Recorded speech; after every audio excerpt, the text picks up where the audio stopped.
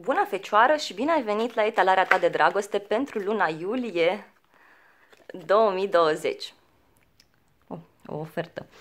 Um, vom analiza relația dintre tine și partenerul de viață sau dintre tine și o persoană care te interesează. Vom vedea stadiul relației, ce gândește, ce simte fiecare și ce stă la baza manifestărilor fiecăruia. Țin să menționez că acest video este valabil atât pentru uh, cei cu soarele, cât și cu ascendentul și luna în zodia rac. Hai să vedem ce va aduce luna iulie, uh, dragi fecioare, fecioare, îmi cer scuze, fecioare. Zodia fecioară, să vedem ce așteaptă pe fecioare.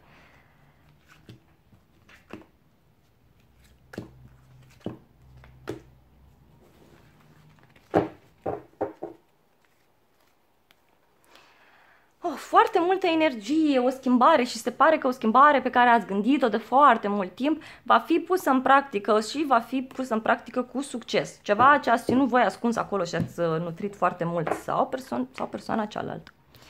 Ca și stadiu al relației, ok, trei de spade, um, asta este coloana voastră. Bun. Ca și energie a relației văd uh, dezamăgire. Uh, sau înșelare. Acum poate să fie și o înșelare în așteptări sau poate să fie că cineva a gândit uh, mult prea mult la un subiect și atunci efectiv și-a frânt inima cu propriile gânduri sau chiar cineva a trădat pe cineva și tare țin să cred că e vorba de o luptă așa între două orgoli. Acum, partea asta cu înșelatul în așteptări sau înșelatul fizic sau dezamăgirea poate să fie și, uh, și în viitor.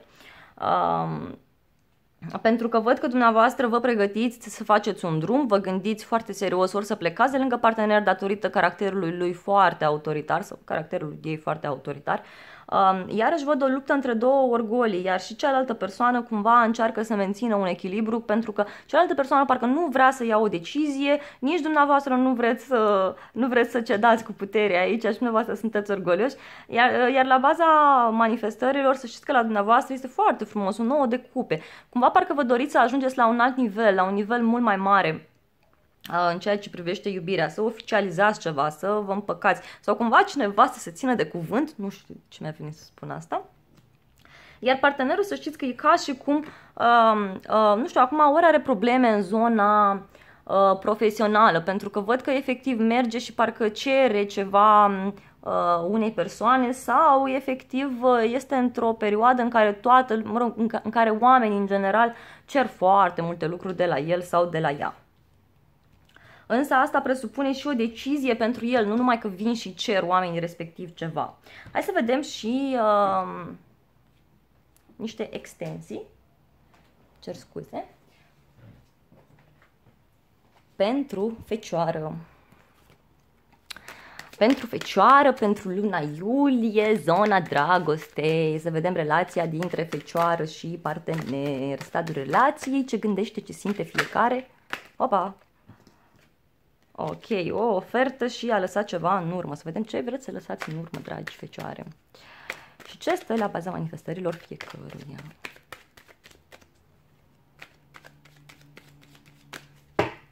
Bun, hai să vedem ca și energie generală. 10 de monede. Cineva și-a dorit uh, uh, o familie sau cineva și-a dorit să ajungă într-un punct mai mare mai sus de atât.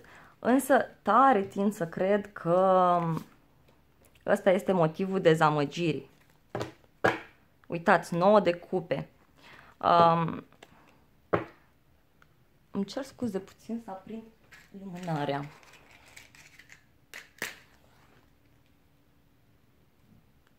Ok, perfect. Acum, um, tare tind să cred că cineva și-a dorit sau uh, în continuare vă doriți, dar să știți că uh, cumva ceea ce vreți voi să obțineți legat de familie, de, uh, de zona dragostei, să ajungeți la un anumit apogeu, um, cumva ajungeți, ajungeți cu siguranță, uitați cu șasele de buite aici la dumneavoastră, cu siguranță, cu siguranță ajungeți, însă să știți că um, ca și energie generală, cumva nu va fi ceea la ce v-ați așteptat voi. Um, iarăși cealaltă persoană efectiv parcă îi moare orgoliu, ca să spun așa, în luna iulie, iar dumneavoastră veți fi uh, nevoiți sau mai bine spus soarta va veni în fața voastră și vă va pune să alegeți, da? Veți merge și uh, poate veți face un cuplu cu adevărat cu această persoană sau poate veți face un drum către această persoană în caz de sunteți la distanță sau mai știu eu ce.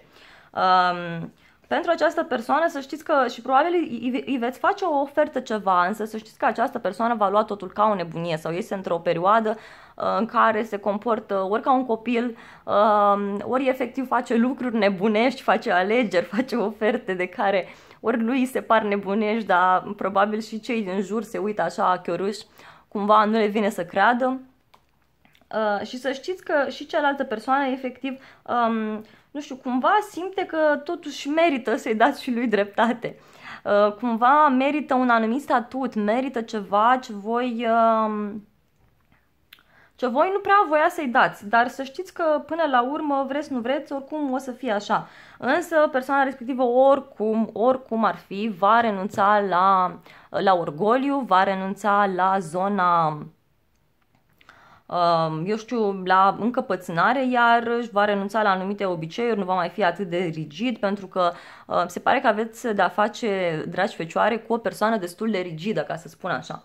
În sensul că posibil să fie într-o poziție de putere și atunci poate are impresia că așa cum e la muncă, așa trebuie să fie și acasă. Și atunci, atunci lucrurile deja degenerează.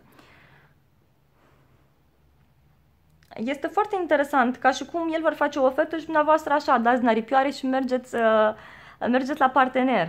Sau poate doriți să vă mutați, sau poate e, efectiv să știți că oricum victoria pe care dumneavoastră o veți avea în iubire uh, va determina cealaltă persoană uh, să renunțe, dar nu voit, mai mult uh, îi va impune soarta sau cumva îi va lua ceva persoane respective um, și efectiv atunci va deschide ochii. Acum nu neapărat trebuie să fie vorba despre o moarte fizică, bineînțeles. Um, este posibil să fie vorba și despre a, a finaliza o etapă din viața lui sau din viața ei. Și să știți că această, acest statut pe care persoana respectivă îl dorește, iarăși are legătură uh, cu o împlinire, da? Dumneavoastră sunteți într-un, uh, într-un cadru în care sunteți împliniți, sunteți aici voi cu voi, aveți foarte multă voință, reușiți, doborâți acest leu prin niște mijloace uh, uh, cumva ieșite din sfera normalului, nu înseamnă că sunt negative. Spre exemplu, acest, uh, acest leu avea o piele atât de groasă încât uh, personajul de aici, uh, în fine, a încercat și cu săgeți și cu de toate și toată lumea a încercat să omoare leul respectiv și nu a reușit. Și într-un final s-a gândit și l-a, și l-a sufocat și l-a omorât. Deci cumva ceva din afara sferei. Și totuși veți ajunge la o abundență, dragi fecioare. Um, dar foarte mare grijă aveți cu alegerea asta pentru că e foarte, foarte, foarte, foarte, foarte tentant. Să știți că este cu adevărat o nebunie dacă stau să, că dumneavoastră vă gândiți că e ceva foarte tentant și persoana chiar o simte sau persoana respectivă este într-o perioadă așa mai nebunească. Și să știți că um, ceva oricum se va termina, ceva se va termina foarte rapid, dar eu văd că veți avansa și veți ajunge într-un alt nivel, într-o altă uh, etapă, ca să spun așa, mai ales uh, cu justiția și cu marele preot, să știți că cumva veți fi la roata destinului, ca să spun așa. Dragi fecioare, vă mulțumesc frumos pentru atenție, să aveți uh, un iulie plin cu înțelepciune și cu decizii cât mai benefice atât pentru voi cât și pentru partener. Nu uitați să dați subscribe și vă aștept și la celelalte videouri în care aveți ascendentul respectiv luna. V-am pupat!